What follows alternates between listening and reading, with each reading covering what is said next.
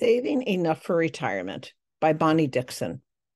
This probably doesn't surprise you, but when people consider retirement, the things that concern them about retirement is not about where they will travel or how to stay involved with their community. It's the fear of running out of money. Stress about finances causes people to lose sleep and makes it difficult for them to concentrate at work. Just prior to COVID in 2020, Capital One released a study in which they found that for 77% of Americans, financial stress dominated how they felt about the future. 58% reported that finances controlled the lives, their lives. We're going to get back to that study because they had suggestions about how to resolve that stress, and it didn't involve giving up a cup of joe at your local Starbucks. We cannot seriously reflect on finances without reviewing the global pandemic. First, because it affected nearly everyone, governments and individuals alike. And second, because it's shown a light that never before on the holes in retirement system. Transamerica Center for Retirement Studies, TCRS, a nonprofit dedicating to educating the public on retirement trends, compiled a report in 2021 on retirement readiness with some dire predictions, beginning with the statement Retirement systems around the world operate on a three pillar model or a three legged stool, including Social Security, workplace retirement benefits, and personal savings. We have concluded that a more robust social contract is very is needed very dire indeed. That study, come as it did at the end of the pandemic, saw reason to be concerned about the stress testing of household financial resources, as about 20% of workers globally dipped into retirement savings, and 36% either were forced to or chose to reduce their expenses to handle their financial new financial pressures. About 73% of the survey respondents felt that recovery from the pandemic would take 12 months or less. About 8% thought they would never recover. It would be interesting to see if their fears were borne out, but that study, while it may be in the works, won't be available for a while. The good news is that despite the pandemic, despite the changing face of global economies, TCRS found reason to be positive finding that the proportion of people saving habitually is at an all time high since they first began researching the topic 10 years ago. In fact, they found that while no good can be said to have come from the pandemic, our survey findings demonstrate that the shock of having one's employment unexpectedly affected has led to more workers considering and setting forth long term financial plans. I'm reminded strongly of how the Depression continued to affect the silent generation long afterwards, despite only lasting 10 years. While the disruption from the pandemic seemed traumatic, if relatively short lived, at least in comparison, only time will tell if individuals and governments approach financial situations differently as a result of COVID. Remember, back a few paragraphs ago, I said that Capital One had some suggestions about finances. That study called Mind Over Money suggested that having a healthy mindset about money impacts how people can address financial issues. According to the study, people under financial stress make poorer decisions about money, are worse at saving and budgeting, are more impulsive, and are less likely to agree that success comes to people who work hard. In fact, this effect was true regardless of income or credit score.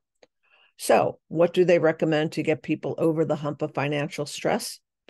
They asked study participants to do some mindset exercises in which they thought about long term goals for seconds.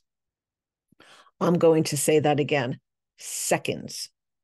Those seconds can reverse the effects of stress, causing people to improve their saving and budgeting moves and becoming more confident in dealing with their finances. Here are their recommendations for building a better money mindset.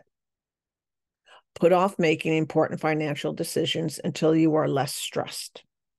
Find a time when you are naturally relaxed and able to put the time and energy into considering the long term impacts of your decisions.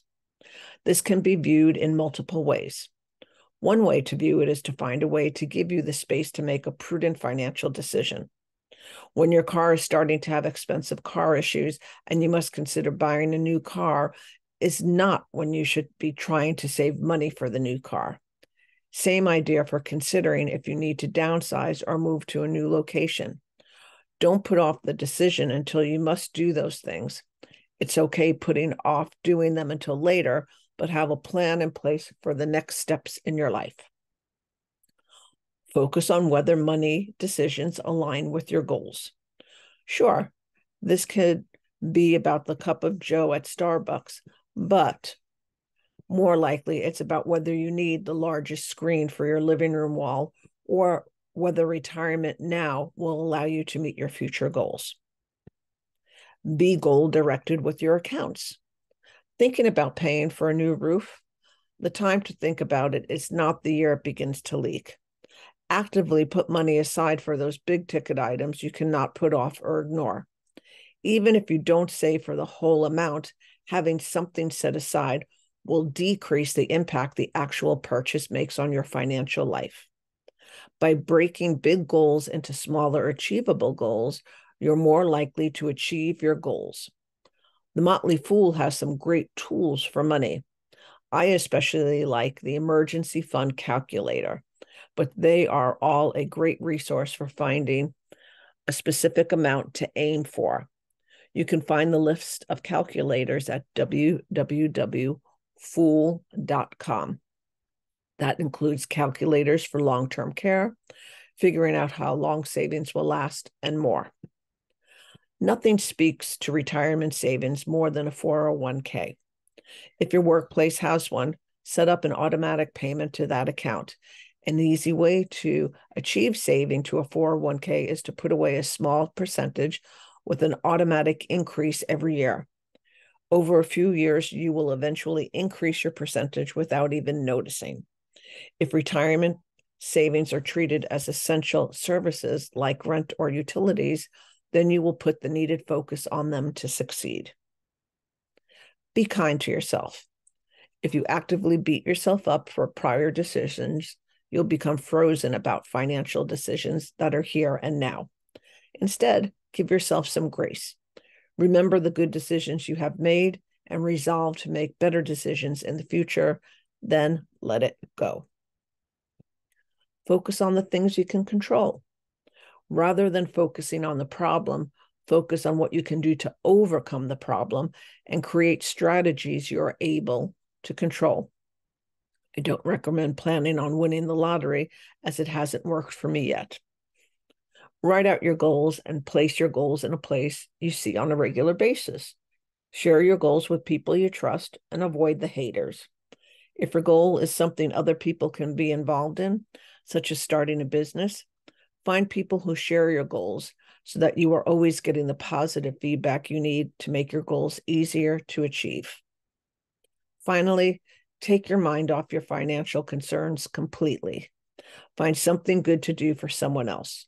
It will feed your soul with positive energy, temporarily take your mind off from things that cause you stress, and provide a break from stress so you can come back with a fresh approach.